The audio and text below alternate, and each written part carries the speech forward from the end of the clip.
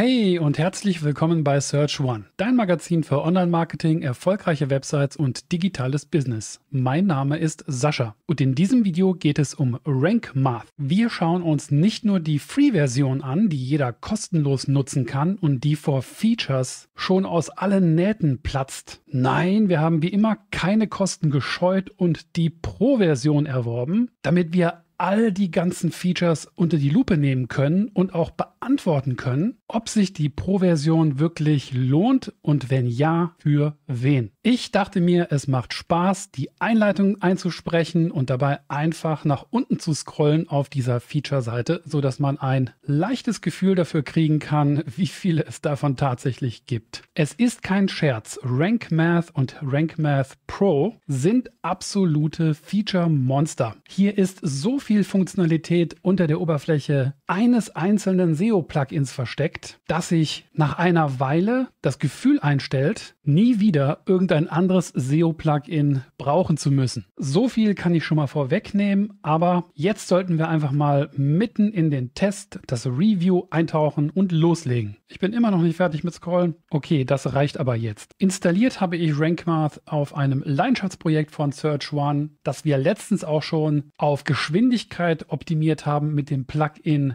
WP Rocket. Dort habe ich vor ein paar Tagen bereits RankMath installiert und die Installationsanleitung findest du im zugehörigen Beitrag, der sich im Blog befindet. Also einfach unten in der Beschreibung den Link suchen, draufklicken, falls du eine Installationsanleitung benötigst. Da das Plugin hier schon ein paar Tage läuft, hat es auch schon fleißig einige Daten gesammelt. Also wenn du das Plugin frisch installierst, dann wird es wahrscheinlich ein, zwei Tage dauern, bis sich die Daten hier angereichert haben. Aber du kannst dennoch schon mal anfangen, damit zu arbeiten. Bevor wir uns jedes einzelne Modul etwas genauer anschauen, möchte ich erstmal zeigen, wo eigentlich die Kernoberfläche von Rank Math ist. Nehmen wir beispielsweise mal diesen ersten Beitrag hier. Um Rank Math aufzurufen, brauche ich lediglich hier oben rechts auf das rote Symbol klicken. Äh, rot ist es, glaube ich, noch, weil 25 von 100, das hat auch irgendwann eine andere Farbe. Und hier habe ich dann die verschiedenen Reiter, je nachdem, welche Module aktiviert sind und kann zuerst das Snippet sehen, ein Fokus-Keyword eintragen. Das ist besonders wichtig. Ich würde hier zum Beispiel das Fokusschlüsselwort Englisch-Zertifikate verwenden. Der nächste Punkt, ob etwas Pillar-Content ist, das heißt ein besonders relevanter oder wichtiger, für dein SEO-Erfolg wichtiger Content, dann solltest du das anklicken. Das bedeutet auch, dass dir dieser Beitrag nachher zum Beispiel im Linkbilder oder Linkzähler, wie er jetzt gerade noch heißt, als mögliches internes Linkziel vorgeschlagen wird. Und dann geht es darum, hier unten in diesem Bereich oder in diesem Bereichchen so viele Fehler wie möglich auszuheben. Beispielsweise, wenn Englisch-Zertifikate mein Fokusschlüsselwort ist, dann sollte es natürlich auch im Text auftauchen. Am besten so weit oben wie möglich. Beispielsweise könnten wir diesen Satz hier und wie sollte es auch anders sein, umschreiben in ohne passende Englisch-Zertifikate geht gar nichts. Und so wird aus meinem roten Kreuz ein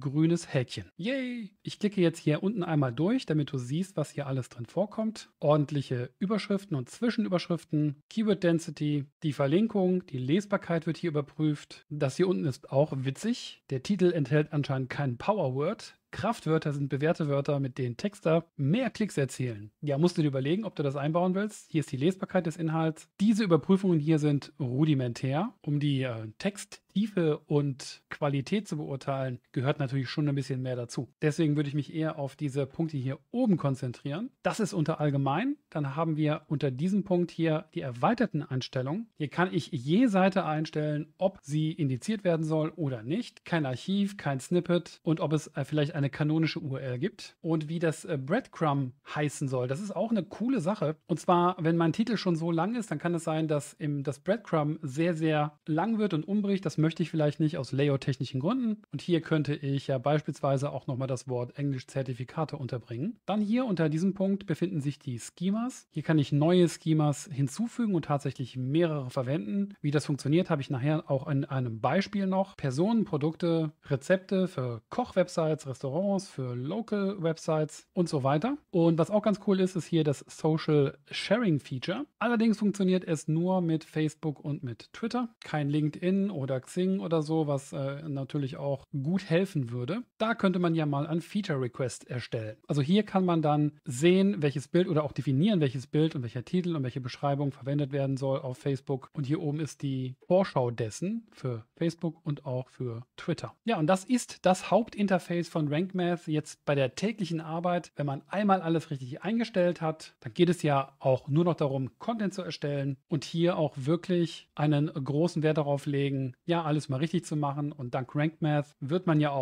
ständig daran erinnert, was einem Beitrag oder einer Seite noch fehlt und was man noch besser machen kann. Und jetzt geht es zur Übersicht über fast alle Module in RankMath und RankMath Pro. Im Menü findest du das Dashboard und im Dashboard befinden sich die gesamten Module. Auch wenn diese Website bei weitem nicht alles verwendet, was man hier optimieren kann, habe ich einfach mal so viel wie möglich davon angeschaltet. Mit Ausnahme von BBPress und BuddyPress, weil es sich ja hier nicht um ein Forum handelt. Und wenn wir mal weiter runter scrollen, dann können wir sehen, dass ich sogar WooCommerce angeschaltet habe, obwohl es sich hier auch nicht um einen Online-Shop handelt. Aber so können wir auf jeden Fall mal kurz hereinschauen. Im Dashboard gibt es dann auch noch die Hilfe. Hier kann man sich verbinden, was ich bereits gemacht habe. Und hier ist der Link zur Online-Dokumentation, die sehr, sehr, sehr empfehlenswert ist. Falls man die Installationsschritte nochmal durchführen möchte, dann gibt es dafür den Einrichtungsassistent. Wie gesagt, das kannst du auch im Artikel Artikel alles mit jede Menge Screenshots nachvollziehen und auch nachträglich lassen sich noch Daten importieren und exportieren, beispielsweise auch die Daten aus anderen Plugins. Okay, zurück zu den Modulen. Wir können jetzt hier von links nach rechts durchlaufen und beginnen einfach mal mit dem 404 Monitor. Bei vielen Modulen ist es übrigens so, nach der Aktivierung findest du auch im Menü einen Unterpunkt, auf den du klicken kannst. Das hat den gleichen Effekt, als würdest du auf Einstellungen klicken, was wir jetzt direkt mal machen. Und schon sind wir in den Einstellungen für den 404 Monitor. Was ist der 404 Monitor? Monitor. Es handelt sich einfach um ein Modul, was überprüft, ob auf der Website eine fehlende Seite aufgerufen wurde, was ja nichts Unübliches ist, aber auch darauf hinweisen kann, dass es vielleicht einen internen oder sogar externen Link gibt, der auf eine falsche Unterseite verlinkt. Es gibt zwei Modi. Natürlich verwenden wir erweitert, setzen das Limit auf 100. Das sollte reichen. Da es ja unter Umständen ständig zu solchen 404-Fehlern kommen kann, möchte man natürlich nicht, dass das äh, Log überläuft, zu voll wird. Und wenn ich weiß, dass es auf der Site einen Unterbereich oder einen Pfad gibt, der viele solche Fehler erzeugt, aber daran ist nichts Falsches, dann kann ich den Pfad hier auch entsprechend ausschließen. Parameter lassen sich auch ignorieren, was vermutlich richtig ist, außer du weißt, dass auf deiner Site Parameter verwendet werden, die keine fehlende Seite erzeugen sollten. Kannst du das natürlich deaktivieren. Die Einstellungen sind also vorgenommen, da können wir mal auf den Monitor gehen und schon haben wir eine Liste mit Seiten, die anscheinend nicht richtig gefunden werden konnten. Das kann jetzt unterschiedliche Gründe haben. Warum das bei dir auftritt, das wirst du wahrscheinlich selbst am besten wissen, aber nehmen wir mal hier das Beispiel, ist die Anbieterseite. Ich habe extra mal diese Anbieterseite aufgemacht. Wichtige Seite mit all den Anbietern, die hier verlinkt sind und irgendwer hat irgendwo einen Link gesetzt, der tatsächlich diese Seite auf diese Art und Weise aufruft mit der Nummer hinten dran. Also klicke ich einfach mal auf Umleiten und dann kann ich diese Maske ausfüllen. Ich brauche eigentlich nur hier den richtigen Link rauszukopieren, hier unten einfügen und eine neue Umleitung hinzufügen. Schon haben wir eine neue Weiterleitung angelegt. Weiterleitung ist übrigens ein eigenes Modul, befindet sich auch hier im Menü. Schauen wir uns gleich auch nochmal an. Nächstes Modul. RankMath bietet Support für Advanced Custom Fields. Der muss nur aktiviert werden und natürlich musst du auch das Plugin Advanced Custom Fields installiert und aktiviert haben. Falls du noch nie von Advanced Custom Fields gehört hast und ähnlichen Tools, die bieten einfach die Option, verschiedene Felder selbst zu definieren. Wo setzt man das ein? Beispielsweise, wenn ein Immobilienmakler Immobilienobjekte auf der eigenen Website anbieten möchte. Dann hast du hier vielleicht die Quadratmeterzahl, die Anzahl der Zimmer und so weiter. Und damit das nachher sortiert und auch besser durchsucht werden kann, muss das WordPress-Blog einfach die Möglichkeit haben, verschiedene Felder zu definieren, außerhalb der normal üblichen Felder. Und das möchte natürlich auch SEO-technisch unterstützt werden. Und das ist das, was dieser Support hier macht. Brauchst du also nur, wenn deine Website Spezialanforderungen hat, an die Art und Weise, wie Daten ausgegeben werden, die über das, was in der Standardinstallation von WordPress enthalten ist, übersteigt. Das nächste Modul ist die Unterstützung für AMP. AMP ist eine von Google entwickelte Technologie, die dabei hilft, Websites und Seiten schneller auszuliefern, indem sie zum Beispiel nicht erlauben, dass auf diesen AMP-Seiten interaktive Elemente vorkommen. Im Prinzip ist dort gar nichts erlaubt, was irgendwie die Geschwindigkeit von deinen Seiten negativ beeinflussen könnte. Also wenn du aus irgendeinem Grund deine Geschwindigkeit nicht optimieren kannst, das fällt auch in eines der Use Cases, beispielsweise wenn du nur an mobile Geräte auslieferst, zu langsam bist oder wenn du einfach so viele interaktive Elemente, zum Beispiel auch Werbeanzeigen auf den Seiten hast, dass es dir nicht möglich ist, deine Seiten schneller zu machen, weil du ansonsten auf Einnahmen verzichten würdest, dann ist AMP wirklich fehlenswert. Ansonsten würde ich die Finger eher davon lassen. Aber RankMath hat hierfür auch hervorragende Unterstützung. Die muss man nach der Installation des AMP-Plugins einfach nur aktivieren und dann funktioniert das. Wie sieht das dann aus? Also sobald das AMP-Plugin aktiviert ist und wir einen Beitrag bearbeiten, dann gibt es hier oben zusätzlich das AMP-Symbol. Ein Klick darauf zeigt dann an, welche Elemente auf dieser Seite ungültig sind. Wenn ich das weiter optimieren will, dann muss ich mich darum kümmern, dass all diese Fehler hier verschwinden. Das Analysenmodul ist ein Pro-Modul und dazu noch ein besonders wichtiges. Ich würde behaupten, es gehört zur Kernfunktionalität der Pro-Erweiterung dazu oder macht diese hauptsächlich aus. Wie wir im weiteren Verlauf sehen werden, gibt es noch viele, viele sehr, sehr coole Pro-Features. Aber hier geht es ja hauptsächlich um SEO mit diesen Analysen können wir ja ermitteln, wie gut unsere Website tatsächlich optimiert ist. In den Einstellungen kann man beispielsweise die Search Console connecten. Das haben wir bei der Installation schon gemacht. Hier können wir auch vielleicht einfach mal Deutschland einstellen. Hier ist es möglich, äh, Google Analytics zu verbinden. Hey, Uni.de verwendet kein Google Analytics, aber falls deine Website Analytics verwendet, dann würde ich auf jeden Fall empfehlen, das zu aktivieren und hier den entsprechenden Account auszusuchen. Und was auch wichtig ist, damit die Rankings korrekt ermittelt werden, zum Beispiel Rankings für Google.de und nicht weltweit, hier Deutschland einstellen. AdSense kannst du auch verbinden und E-Mail-Berichte ist natürlich auch eine coole Funktion. Kannst du an- oder abschalten, je nachdem, wie oft du in deinem Backend drin bist, brauchst du die vielleicht anfangs gar nicht. Okay, Änderung speichern. Mit einem Klick auf Analysen im Menü komme ich dann auf diese Analysen und kann hier beispielsweise sehen, die Suchimpressionen, die Klicks und so weiter, die werden offensichtlich aus den Webmaster Tools oder der Site Console rausgezogen. Ich sehe die Rankings für alle Keywörter oder die Tracked Keywords, die schauen wir uns gleich nochmal an. Und was eine coole Information ist, mit der ich wirklich was anfangen kann, hier sind laut RankMath die Top 5 gewinnenden Posts, die die also wirklich am meisten machen und bringen. Wenn ich hier oben umschalte, kann ich auch die Top 5 Losing Posts anschauen. In meinem Fall sind jetzt hier noch keine Daten, aber wenn ich hier in dieser Liste eine Seite habe, die wichtig ist, dann weiß ich, da muss ich mich drum kümmern. Im Bereich Site Analytics werden die SEO-Scores, die von RankMath vergeben werden, in gut, mittel und schlecht eingeteilt. Hier steht noch nicht sehr viel, weil wir natürlich noch nicht angefangen haben mit der Optimierung. Sobald du aber die einzelnen Seiten und Beiträge optimierst, werden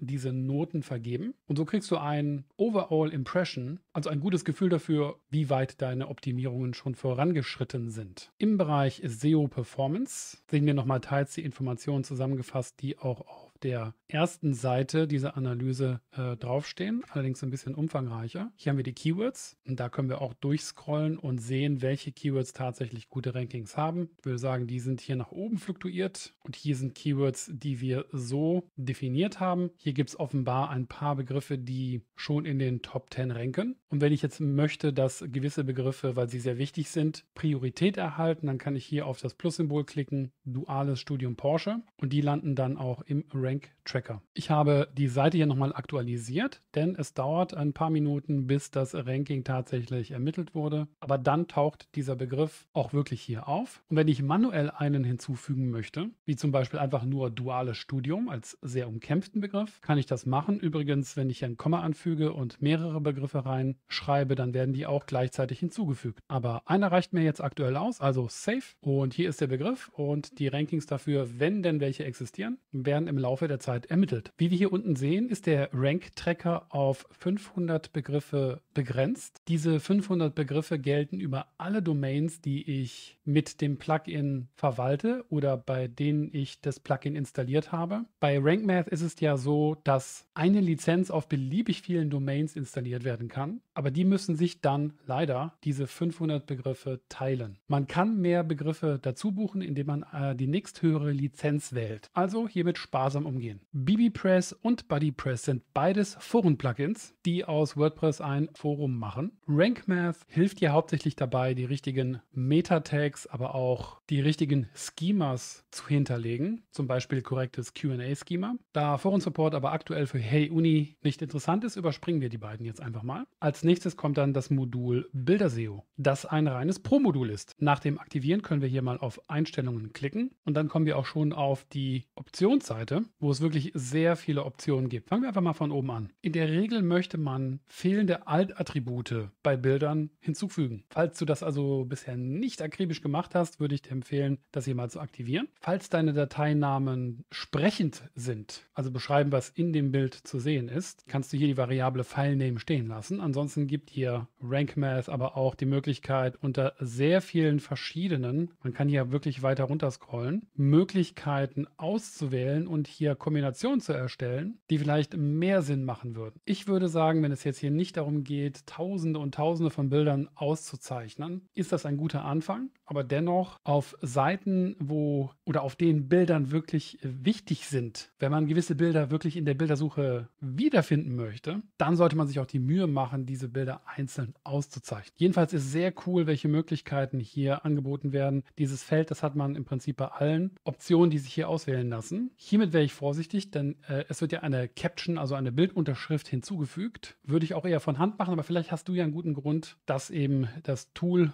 übernehmen zu lassen. Captions, Descriptions, auch wie das Title Casing dann zum Beispiel aussehen soll. Das heißt, äh, erster Buchstabe groß und so weiter. Hier sind die Beispiele dafür, alles in Großbuchstaben. Avatars, also die Bilder von Usernamen, könnte man auch mit Alt-Attributen versehen. Weiß nicht genau, was das bringen soll, aber es ist gut, dass es die Option gibt. Vor allem, wenn nach den Menschen, die hier in den Bildern erscheinen, auch wirklich gesucht wird. Falls es Wörter gibt, die du gerne ersetzen möchtest, dann kannst du das auch hier machen. Finde ich auch ganz cool. Im Alttext zum Beispiel überall ein gewisses Wort ersetzen. Und eine Sache möchte ich noch anmerken, und zwar, was ich ziemlich gut finde, da Google ja neuerdings auch, äh, eigentlich immer auch die JavaScript-Version, also die, die, dynamische Version einer Seite ausliest, ist es so, dass RankMath tatsächlich hingeht und all diese Sachen, die wir hier einstellen, nur in den Text injiziert, ja, nachdem JavaScript geladen ist. Das heißt, es wird nur dynamisch injiziert. Das heißt, der Text, den du selbst in der Eingabemaske definierst, der wird nicht geändert, überschrieben oder so, sondern das das wird im Nachhinein auf der Seite eingebettet. Das ist auf jeden Fall schon mal cool. Schauen wir uns doch mal an, wie das funktioniert. Hier ist der Text der Startseite und das Bild. Und in die Einstellung des Bildes komme ich jetzt so rein. Und hier ist kein Alttext definiert. Da schauen wir doch direkt mal in das HTML rein. Und hier ist auch der Name des Bildes und kein Alt. Nun, der Name ist jetzt nicht besonders vielsagend, aber wir können es trotzdem einfach mal ausprobieren, visuell bearbeiten. Zurück in den Optionen für das Bilder-SEO schalte ich das einfach mal ein und hier ist ja FileName definiert. Macht das gleiche auch nochmal für das Title-Attribut. Dann speichern wir ab. Änderung speichern. Updated. Und jetzt mal auf die Startseite gehen. Hier müssen wir nicht speichern. So, jetzt ist die Startseite mal frisch geladen. Wenn ich mit der Maus drüber fahre, dann sehen wir schon, hey Uni, an die Universität oder noch ein bisschen reisen.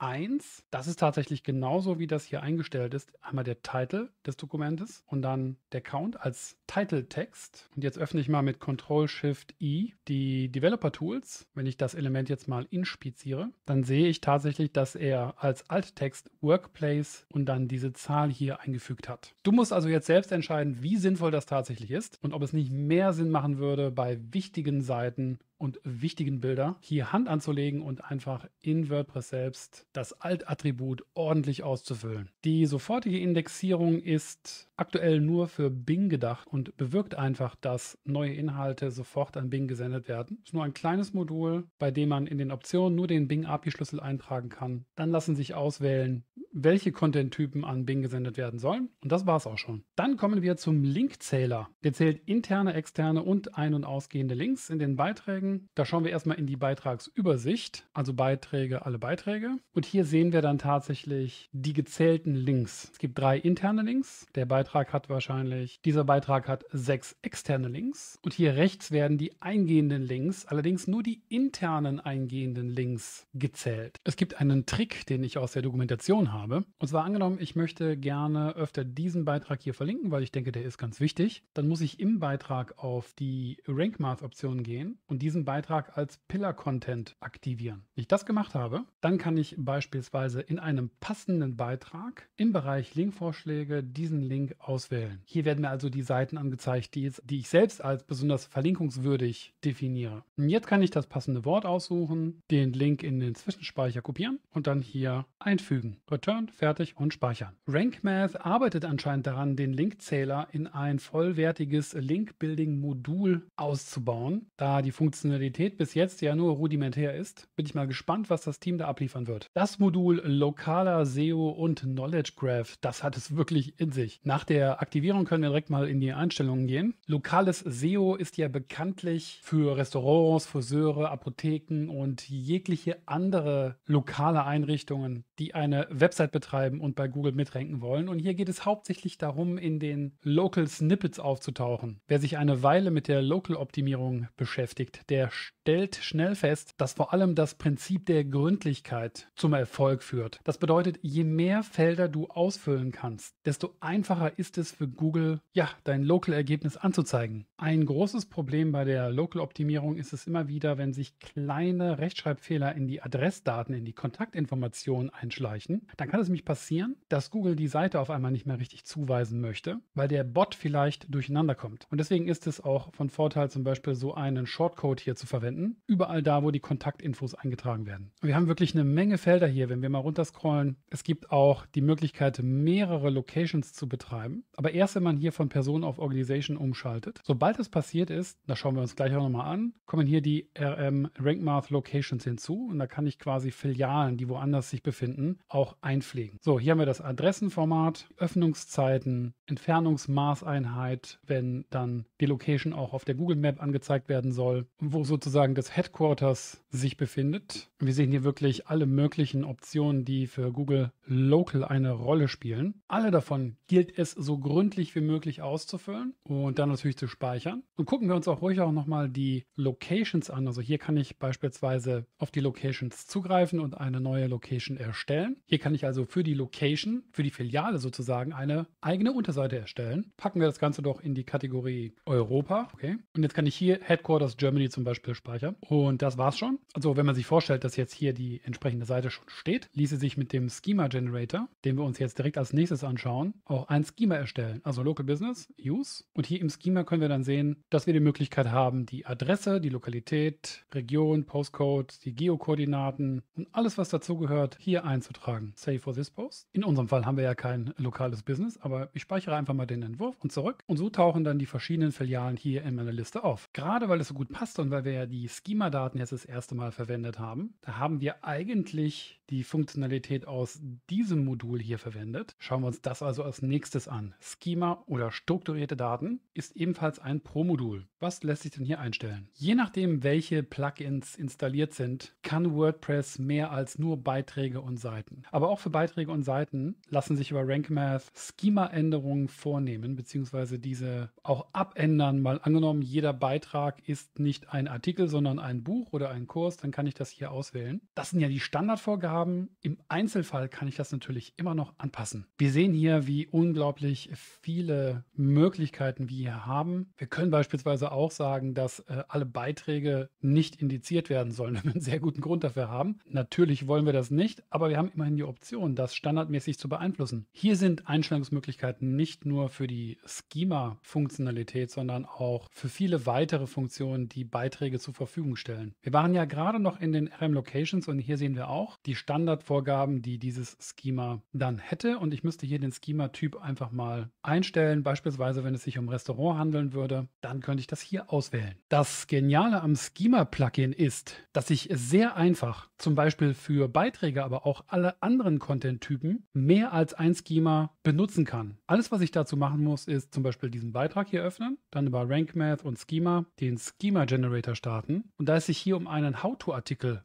handelt, eine Anleitung, ein Tutorial, kann ich auch einfach hier das How-to-Schema verwenden, Use. Die Daten werden hier übernommen. Wenn ich hier mal runterscrolle, dann sehe ich auch, dass ich die Möglichkeit habe, einzuschränken, wie lange dieses How-to dauert, welche Kosten zum Beispiel es verursacht, welches Material ich dafür benötige, welche Tools und welche Schritte. Und hier kann ich dann zum Beispiel einen Schritt hinzufügen, den Schritt benennen und eine Beschreibung hinzufügen. Und das ist es genau, was Google möchte. Diese fertig ausgefüllten Schema-Einträge schaffen es sehr oft zu hohen Rankings am Hauptalgorithmus vorbei. Du musst im Prinzip nur Gebrauch davon machen. Sehr leicht mit RankMath. Das Modul News Sitemap ist ebenfalls nur in Pro enthalten. Schauen wir direkt mal in die Einstellungen. Hier brauche ich einfach nur, falls meine Publikation bei Google News angemeldet ist, meinen Namen eintragen und dann aktivieren, welcher Typ von Content tatsächlich in die Sitemap integriert werden soll. Speichern und fertig. Mehr ist bei den News Sitemaps nicht zu tun. Das Pro-Modul Weiterleitungen haben wir am Anfang schon gesehen. Auch hier können wir mal reinschauen. Hier gibt es nur wenige Möglichkeiten. Die Debug-Umleitungen ermöglichen es nur Administratoren zu sehen, welche URL wohin geleitet wird. Das kann zum Debugging wirklich sehr praktisch sein. Falls es keine Weiterleitung gibt, dann wird die Standard 404-Seite ausgespielt. Das ist richtig. Und dafür haben wir ja auch schon unseren 404-Monitor aktiviert. Und der Umleitungstyp, außer du weißt wirklich, was du tust, sollte in der Regel nicht etwas anderes sein als 301 permanente Umleitung. Die automatische Postumleitung würde ich auf jeden Fall aktivieren. WordPress scheint dies neuerdings ebenfalls schon zu machen von sich aus, aber hier hast du einfach mehr Möglichkeiten. Und das war's schon. Sobald du deine Einstellungen vorgenommen hast, kannst du all deine Weiterleitungen hier im Menü aufrufen, neue hinzufügen, importieren, exportieren und Weiterleitungen sogar nach Kategorien sortieren. Hoffentlich hast du nicht so viele Weiterleitungen, dass du dafür Kategorien brauchst. Die Rollenverwaltung ist ein Feature, was notwendig wird, wenn dein Team auf ein Niveau wächst oder eine gewisse Anzahl erreicht, sodass vielleicht nicht mehr jedes Teammitglied jede Einstellung vornehmen sollte. Dabei kann es ja auch zu Umfällen kommen. Falsch eingerichtete Weiterleitungen passieren da schon mal öfter. Naja, und hier kann ich filigran einstellen, wer was genau einstellen darf oder auch nicht. Das Modul SEO-Analyse macht so etwas wie eine Beschreibung Bestandsaufnahme und testet dabei 70 verschiedene Faktoren. Über den Button Einstellungen oder hier im Menü unter SEO-Analyse kannst du das dann aufrufen und zum Beispiel immer dann, wenn du eine Reihe von Änderungen vorgenommen hast, die Analyse neu starten. Das dauert hier gerade mal, ich würde sagen, 10 Sekunden und schon hast du eine ganze Reihe von Vorschlägen, was du alles ja erweitern und korrigieren kannst. Beispielsweise ist unsere Description ein bisschen zu lang. Das gleiche gilt auch für den SEO-Titel. Hier ist ein Biggie. Wir haben überall noch kein Fokus Fokus-Schlüsselwort erstellt. Hier kann ich zum Beispiel sehen, wie meine Snippets aussehen werden. Der mobile Snapshot, ob hier alles richtig angezeigt wird. Hier könnte man noch Open Graph Meter hinzufügen und noch eine Menge andere Sachen, die wir hier optimieren können. Das ist wirklich sehr cool und eines meiner Lieblingsfeatures. Die Sitemap und die Video Sitemap funktionieren natürlich ähnlich der New Sitemap, wobei es die Video Sitemap nur in der Pro-Version gibt. Schauen wir uns beide einfach mal an. Hier sehen wir dann auch die Einstellungen für die Sitemaps und die verschiedenen Sitemaps habe ich einfach mal hier aufgerufen. Das sieht dann so aus. Es gibt eine für Posts, Page und Local. Klicken wir mal auf Posts. Die werden geladen. Wunderbar. Und jetzt sehe ich ja hier an der Seite, für welche Inhaltstypen ich Sitemaps habe. Die werden mir auch hier angezeigt und ich kann überall Filter erstellen dafür, was übernommen wird und was nicht. Kann sogar Anhänge mit einer Sitemap versehen. Und hier unten sehen wir ja die News Sitemap, die Video Sitemap und die Local Sitemap. Mit anderen Worten, es gibt Sitemaps für alles. Die Google Stories sind ein neues Hochkantformat, was anscheinend mit äh, Instagram konkurrieren soll und auch dafür hat RankMath mittlerweile eine Unterstützung. Damit man die Google Web Stories als Modul verwenden kann, muss man das offizielle Web Stories Plugin von Google installieren. Wie wir hier sehen können, habe ich sogar ein Update, also aktualisiere ich mal. Dann gibt es hier diesen Menüpunkt Stories. Hier kann ich beispielsweise eine neue Story hinzufügen. Dann bekomme ich auch so einen fancy Editor mit äh, einer Menge Vorlagen und kann hier, wenn ich möchte, lebhafte Designs erstellen, die animieren und so weiter. Du betreibst einen Online-Shop mit WooCommerce, dann wird sich RankMath besonders lohnen, da die Unterstützung für WooCommerce wirklich ausgezeichnet ist. Nun, heyuni.de ist jetzt kein Online-Shop, aber ich habe WooCommerce einfach mal installiert und aktiviert. Sobald ich damit beginne, ein Produkt zu definieren, so wie hier, kann ich mal ein Suchmaschinen-Preview sehen, das Snippet auch editieren und habe dann jede Menge Möglichkeiten, diese Produktseite zu optimieren. Angefangen beim Fokus-Keyword, das man immer vergeben sollte,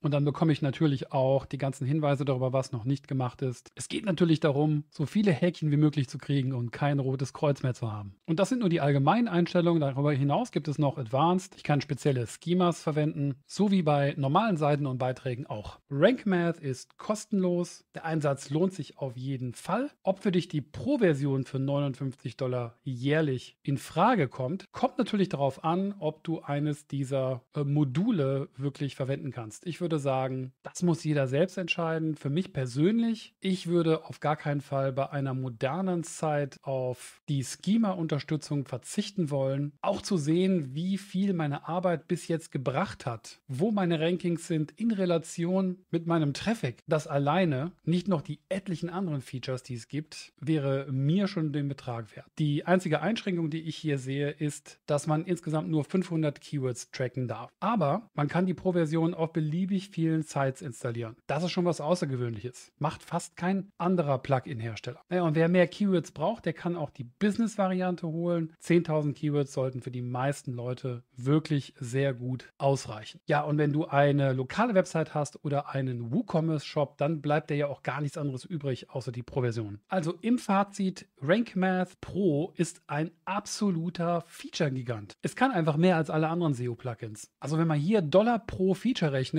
dann ist das Plugin wirklich sehr preiswert. Auf der anderen Seite, diese ganzen Features, die wollen natürlich erstmal genutzt werden. Man muss sich doch relativ intensiv in die Software einarbeiten. Meiner Meinung nach liegt das aber eher weniger daran, dass die Software zu komplex ist, sondern mehr daran, dass die äh, Workflows in der Suchmaschinenoptimierung in Kombination mit Social Media und so weiter heutzutage ohnehin unglaublich komplex geworden sind. Unten in der Description findest du unseren Partnerlink. Wenn du RankMath Pro oder Business darüber erwirbst, erhalten wir eine kleine Provision und für dich entstehen keine zusätzlichen Kosten. Danke für deine Unterstützung. Falls dir dieses Video gefallen hat, dann hinterlass uns doch bitte ein Abo und ein Like. So können wir in Zukunft noch mehr Videos für dich machen. Das war's von mir, Sascha für Search One. Out.